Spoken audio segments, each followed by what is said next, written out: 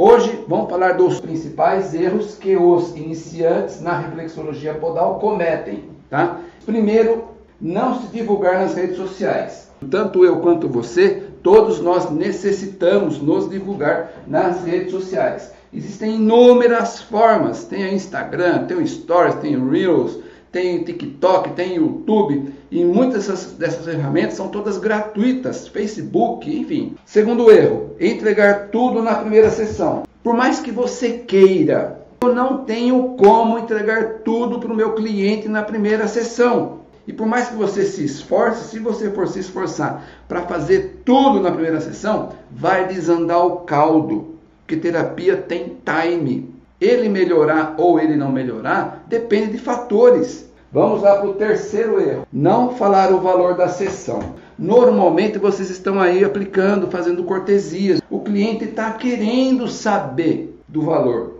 e aí você fica constrangido. Para com isso. A pessoa está querendo saber o valor da terapia. A pessoa está querendo ser atendida outras vezes por você. E ela sabe que você não faz esse trabalho sempre 100% do tempo gratuito. Então você precisa falar para ele. Quarto erro, falar demais. Querer adivinhar.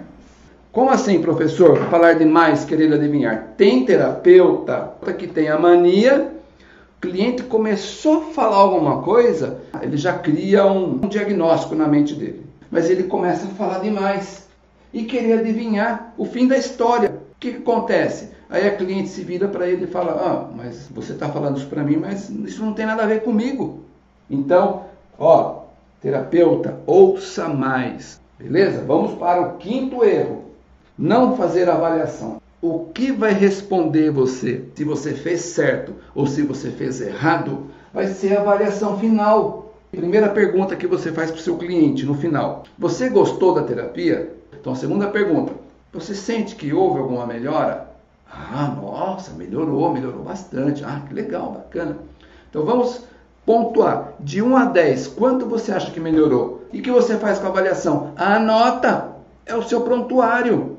Vamos para o sexto erro: desistir dos seus sonhos. Quem aí já pensou em desistir? Então você já passou por isso? Comente aqui abaixo.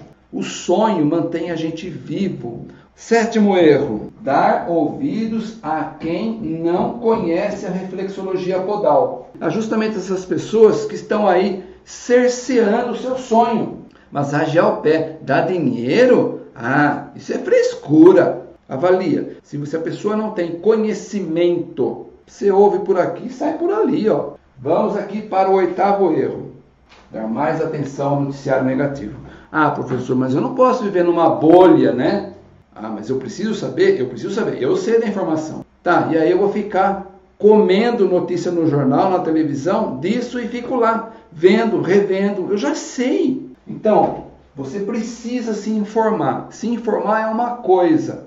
Ficar conectado com essa notícia negativa vai te deixar doente. Erro 9.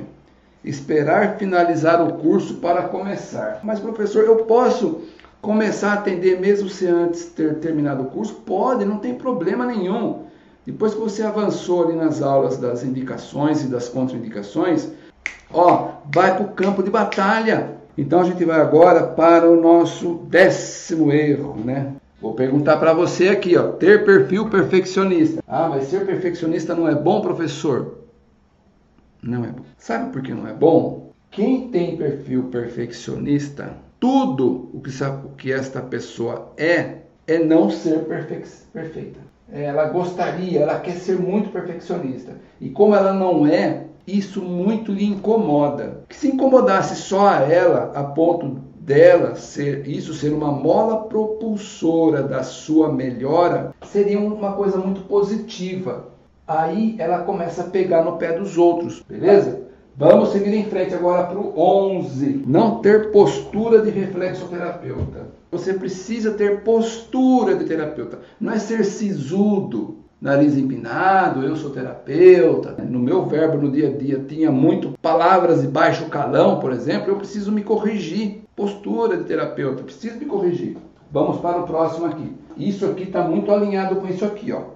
Décimo segundo, usar roupas inadequadas. Você vai trabalhar, você, ó, ó, tô aqui, ó, que jeito que eu tô aqui, ó. Eu tô, tô tendo postura, né? Coloque uma roupa adequada. Homem, camisa abotoada até em cima. Mulher, também camisa abotoada, né? Blusa. Mulher que usa blusa com, com botão, cuidado que entre um botão e outro, às vezes dá para ter uma visão lá interna. Isso é extremamente importante. Décimo terceiro não criar campanhas comemorativas. Olha no calendário, pega a sua agenda e marca na agenda. Se programe, sabe? Se programe. Vou colocar aqui mais um erro. Vou colocar um décimo quarto erro aqui que eu não havia pensado. Cada cidade tem a sua data de aniversário, suas datas comemorativas específicas. Cria um nome, coloca lá uns adereços no seu store, né, no seu Instagram. E o, o nosso programar foi isso que eu falei da agenda. Esses foram os 13 erros. Erro extra.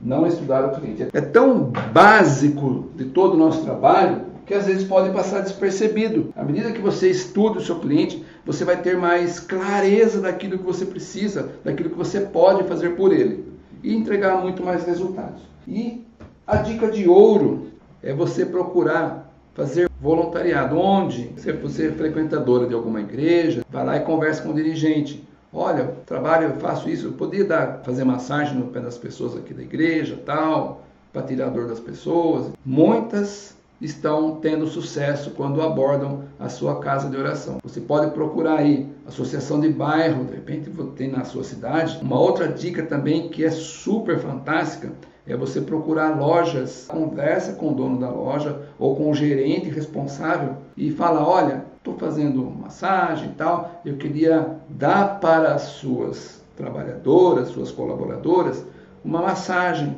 Aí você já vai alertar, olha, não vou tomar o tempo delas durante o trabalho.